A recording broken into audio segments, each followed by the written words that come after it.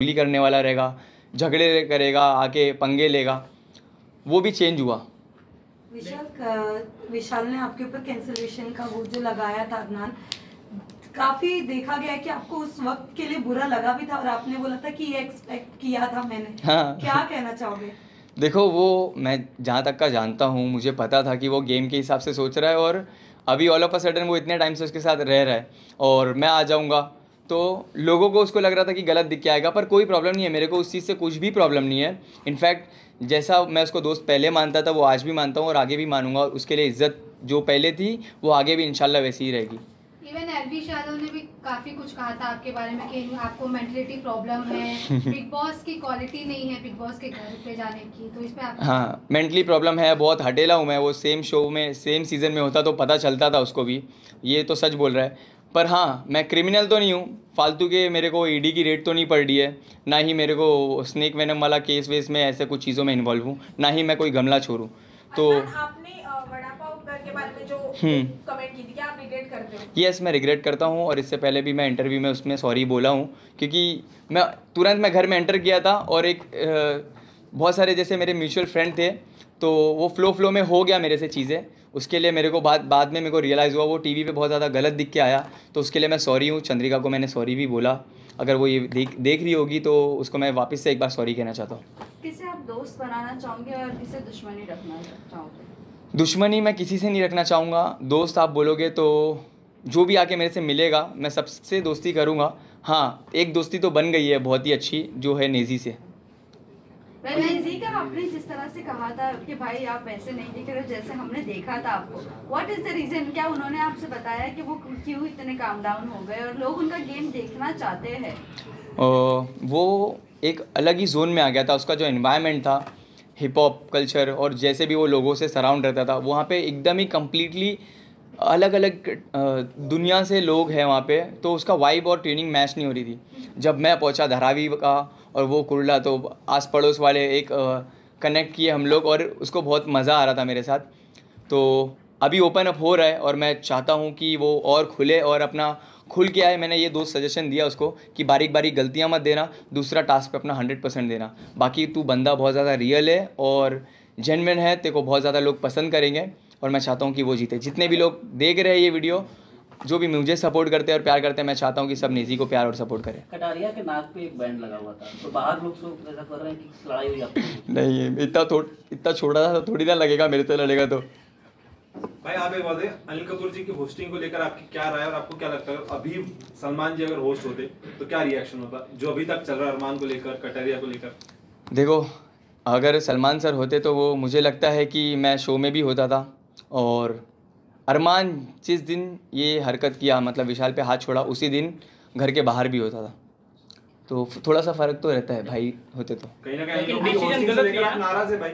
जो आप कह रहे नहीं। होते तो मैं घर पर नाराज़ एज इन देखो मेरे मैं नाराज़ अगर पूछेंगे ना तो नाराज़ मैं उस वजह से हूँ जब मेरे को मेरे काम पे मेरे प्रोफेशन पे बोला गया। थर्टी सेकेंड थर्टी सेकेंड बोल के थर्टी सेकेंड के कंटेंट ये तुम्हारी रील नहीं है। तो ठीक है मुझे प्राउड है, मुझे फ़ख्र है कि मैं एक कंटेंट क्रिएटर हूँ।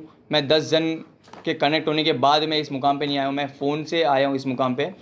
और लोगों के प्यार ने मुझे बनाया है और वही तीस सेकंड का कंटेंट बनाने की वजह से आपकी टीम ने मेरे, हम लोग को रीच आउट किया है और मैं फिर शो पे आया हूँ। ठीक है, आप ही मेरे फॉलोअर्स और मेरे बारे में बता रहे थे मेरी एंट्री पे। तो मुझे फ़ख्र है, मैं जो भी काम करता हूँ मुझे फ़ख्र है और बोलने वाले तो बोलते हैं। लेकिन आपको लगता है डिसीज़न लिया सही लिया क्या गलत लिया? आप क्या मानते हैं?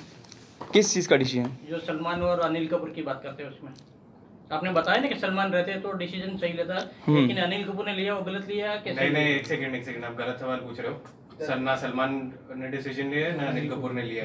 ये इंटरनल अंदर की बात है। आप गलत गलत मत पूछिए प्लीज़ अदनान ये जानना चाहेंगे अरमान मलिक पर यू नो आज हम देख रहे हैं उनका एक वीडियो वायरल हुआ था।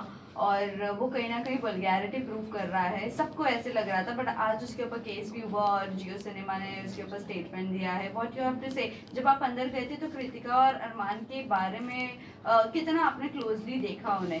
मैं- वो वल्गैरिटी नहीं देखा मैंने ऐसा कुछ। मैं तो ऐसा कुछ देखा नहीं मतलब कि, कि किस बारे में बात कर रहे हो आप? सच्ची में नहीं पता मुझे। प्लीज़ ये सारी चीज़ों के बारे में आप रेफरेंस कीजिए और last set of questions please पूछ लीजिए। लास्ट में आप क्या बताना चाहेंगे कि जितने सारे अंदर है बाहर आने के बाद किससे दोस्ती रखेंगे और किससे नहीं रखेंगे? मैं वापस से बोल रहा हूँ इससे पहले भी मैंने सेम चीज़ बोला मेरे दिल में किसी के लिए भी कुछ भी नहीं है। जो भी आके मिलेगा जो भी दोस्ती का हाथ बढ़ाएगा मैं उससे मिलूँगा जिसको नहीं मिलना है मेरे को कोई प्रॉब्लम नहीं है। क्या लगता है आपको कौन विनर हो सकता है? अ, तीन जन सना मकबूल नेज़ी या विशाल। और मैं चाहता हूँ या तो नेज़ी होए या तो विशाल। पर मैं चाहता हूँ मेरी जो फैंडम है जो मेरी सोशल मीडिया पे चाहने वाली जो जनता है मैं चाहता हूँ वो सब निजी को सपोर्ट करें। अगर कटारिया हो गया तो खुश हो गया या दुख हो गया? कोई प्रॉब्लम नहीं है देखो सबकी अपनी पसंद होती है। अ, अभी आप बोलोगे कि किसको जीतना देखते चाहोगे जैसे कि आपके घर में दो मेंबर्स हैं तो आप क्या बोलोगे? कोई भी जीत रहा है अपने वाला ही जीत रहा है तो मैं पर्सनली जो जितना भी टाइम स्पेंड किया हूँ कटारिया के भी साथ तो वो भी जीता तो अच्छी चीज़ है कोई गलत बात नहीं है। मगर हाँ मेरा जो हिसाब से बॉन्ड रहा है और नेजी जो हिसाब से कम करना चाहता है और जैसा वो प्योर और जेनविन बंदा है मैं चाहता हूँ कि नेजी जीते। सिस्टम हैंग करने की बात कर रहे हो आप। आपके सोशल मीडिया स्टोरी पे हमने देखा। क्या आपका स्टेप होगा एल्विश के लिए? देखो उसको ना जवाब दिया है फैसल ने मेरे भाई ने। बहुत ही अच्छी तरीके से अपना क्लास अपना स्टैंडर्ड मेंटेन करते हुए उसको जवाब दिया है। पर बोलते हैं ना कभी कभी किसको उसकी लैंग्वेज में ही जवाब देना पड़ता है। तो अभी आ गया हूँ मैं अभी ये सब इंटरव्यू वगैरह लाइनअप थे। मेरी फैमिली को भी टाइम दूँगा फिर मैं बहुत सारे ब्लॉग वगैरह बनाया वो मेरे ऊपर और बहुत सारी स्टोरीज़ वगैरह पे भी रिएक्ट किया है। तो फुर्सत में देखूँगा जाके फिर एक बार में सब चीज़ों का टोटल लेके बैठूँगा और हफ़्ते भर के अंदर आपको पता चल जाएगा जवाब मिलेगा। ठीक है thank you thank you thank you thank you thank you